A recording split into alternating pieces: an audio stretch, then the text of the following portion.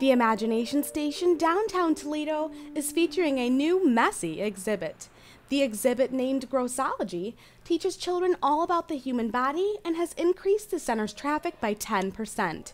Fun games and life size replicas of body parts make the learning process more interesting for both children and adults. Having it in this form where kids can see all these gross things in a fun and interactive way but still learn uh, helps parents out because then they don't have to explain where some of these gross things come from, uh, but also makes learning fun for the kids. The Grossology display features a giant nose cave, a skin rock climbing wall, and more. Heath, Ohio resident Lori Smith is glad she was able to bring her grandchildren to the exhibit to learn. Oh, it's very important. So they understand what's going on with their own bodies and um, they won't feel scared or embarrassed or anything and, and they know that, that it's all natural, whatever may be going on. the exhibit teaches children what different body parts do and explains why bodily functions such as burping are important.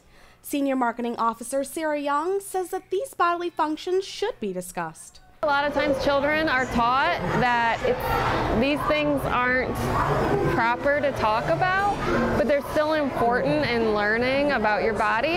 And so it's a really fun way to teach the kids that all of these things are normal and they happen. The Grossology exhibit will be featured at Imagination Station until September 2nd. To get more information on what you can see next, visit the link below. I'm Natasha Gordon for UT10 News.